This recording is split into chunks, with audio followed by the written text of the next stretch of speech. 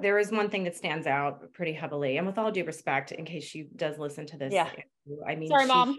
oh yeah, no, it's okay. She was a great cook. She really did stay away from a lot of the processed stuff. It was a treat. and, You know, she she cooked well, but we did have all those fun junk foods in the house. Mhm. But um, the thing that got me the most was there was a time where she referred to me as having such a pretty face and I Mhm. could do better in her own words. And I just remember she again, my she was trying to motivate me, but what it did was the reverse. It made me want to rebel against not only her, but the world and myself. Yeah. And I did, and it was always with food.